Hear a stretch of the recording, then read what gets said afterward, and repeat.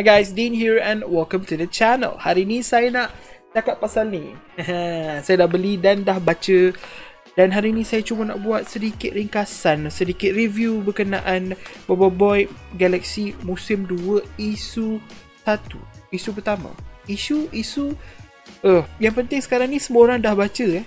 Ini ada spoiler Sebab saya mula-mula nak buat tak nak ada spoiler Tapi susah lah kalau bincang tak ada spoiler ni Tapi spoiler ni tak banyak pun kita bincang sikit-sikit je apa yang berlaku dan apa pandangan saya. Itu saja. Alright, apa yang berlaku dalam buku ni um, adalah kesinambungan daripada movie kedua. Mereka semua berada di bumi dan kemudian Adudu um, dengan ada niat jahat Adudu yang tersendirilah. Jadi bermulalah cerita ni. Adudu cuba nak rampas Ochobot Tapi dengan cara yang agak complicated lah. Bukan macam Adudu lama yang straightforward. Sekarang Adudu macam ada main-main hela sikit. Sebab Adudu ni dia tahu kelemahan dan kekurangan dia sekarang. Character development. Very good. Uh, Lepas tu uh, Dah nak mereka ada serang Ada lawan dengan Adudu sikit. Adudu memang power Bobo-boy semua terkejut. Ish asal Adudu power sangat ni? Um, dan Adudu basically Adudu berjaya dalam misi dia. Dia berjaya untuk letakkan satu chip dalam Ochobot dan sekarang bila Ochobot guna teleportasi, Adudu akan dapat pergi ke tempat yang sama dengan Bobo Boy. So Adudu pun akan dapat apa yang Bobo Boy nak. Sebab Bobo Boy dengan tim dia dah di-assign ke satu kuadran baru, satu sek, satu section baru untuk jaga semua power spell dekat area tu.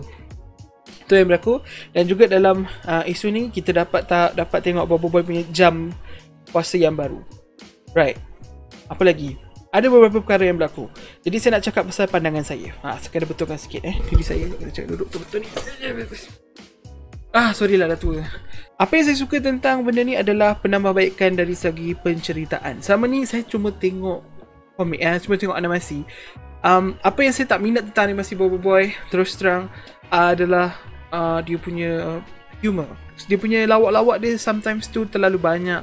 Um, dia tak cukup apa orang kata kadang-kadang waktu serius pun Popal atau Papa Zola still buat lawak. So tak, saya tak berapa minat benda tu. Saya faham lawak tu uh, adalah Bobo Boy punya staple. Maksudnya Bobo Boy adalah basically aksi komedi. Tu genre Bobo Boy. Tapi um, maybe boleh jadi mata sikit sebab Bobo Boy pun dah besar kan? Bukan season 1, 2, 3 lagi sekarang dah Galaxy season 2 pun.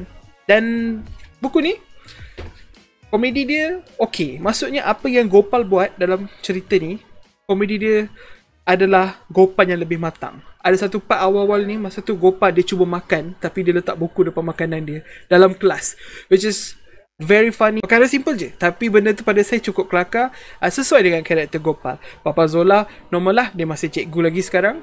Uh, Papa Zola buat uh, lawak dia lawak normal dia lah tapi dalam dalam cerita ni Papa Zola agak uh, sado eh tangan dia ha penuh berurat bagai. Harap-harap Papa Zola pun ada perubahan dari segi fizikal. Saya bukan apa saya ni orangnya badan macam ni. Jadi kalau boleh saya tak nak Papa Zola badan macam saya lah tak nak ada boncet-boncet bagi lean sikit tak semestinya kena sado kan tapi lean sikit. Saya buat masa ni design Papa Zola dalam ni ibarat Papa Zola macam dah diet. So um, a win for me. Uh, lepas tu benda yang saya suka lagi adalah um, dia punya uh, art style. Art style dia pada saya sangat unik. Saya boleh tunjuk sikit kot Ah ada pun. Ah contoh art style macam ni. Tak tahu lah nampak ke tak. So art style dia agak unik. Art style dia sesuai dengan Bobo Boy.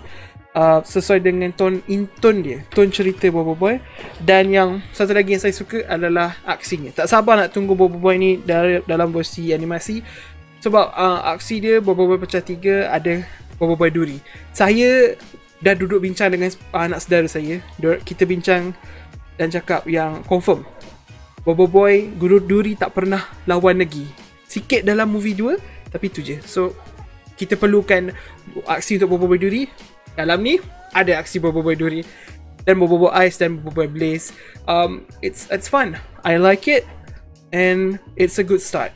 Uh, Satu lagi Satu lagi benda yang Saya memang sangat suka Adalah Ada sneak peek dekat belakang ni. Ah, spoiler eh, spoiler. Bagi tahu ada sneak peek sikit. Ha, ada sneak peek untuk buku yang bulan April punya. So memang tak sabar nak tengok sebab saya rasa snip, uh, ni dah dah sampai tahap dia nak jumpa kuasa baru dia kuasa balak. Yang kita nampak dalam trailer tu. So oh memang tak sabar. So all in all Monster Comics he did a great job. Saya sangat suka dengan pembacaan saya. Saya rasa sangat fun, kelakar. Um, dan banyak benda yang Bobo Boy tak tinggal lah. Maksudnya saya mungkin akan tertanya-tanya lah um, kenapa Bobo Boy kena perbaiki jam dia? Rosak lagi ke? Sebab Galaxy Season 1 pun tak pernah cerita pasal jam Bobo Boy rosak sampai dia tak boleh guna kuasa tahap 2 dia. Tak pernah cerita lebih mendalam sikit-sikit je orang tekankan. Mungkin ni orang akan cerita orang akan lebih tekankan harap-harap macam tu lah. Okay, itu saja video saya. Saya tak nak buat panjang-panjang kepada yang belum baca uh, kenapa tengok kan spoiler? Tapi uh, yang belum baca mas kalau masih ada boleh beli RM6 kalau nak pinjam dengan kawan pun bolehlah terpulang lah ikut. Ikut masing-masing punya kemampuan. Tapi zaman sekarang ni tengah waktu virus-virus ni Ah, kalau boleh cepat-cepat diam-diam pergi 7E ke apa, beli balik rumah, baca, ah, lepas tu boleh peluk ke apa ke, terpulangkan cara korang. Yang penting hati-hati dekat luar sana, peminat-peminat Bob Boy, ah, fan art eh, saya perlukan fan art yang lebih banyak untuk mengisi masa lapang saya menunggu satu bulan untuk uh, uh, isu 2. Okay, that's it. I'm gonna end the video here. It's long enough. Um, next month kita buat lagi video Bobo Boy mungkin saya akan buat lagi video Bobo Boy kalau anda semua berminat kita boleh bincangkan pasal teori or something else saya memang ada plan nak buat podcast style podcast untuk bincangkan tentang masa depan Bobo Boy uh, malangnya tak ada orang yang nak berpodcast dengan saya kalau anda berminat uh, bolehlah DM-DM ke apa kita boleh bincang pasal benda tu. Alright, have a great day. Don't forget to wash your hands, drink a lot of water. Don't forget to subscribe to the channel. And bye.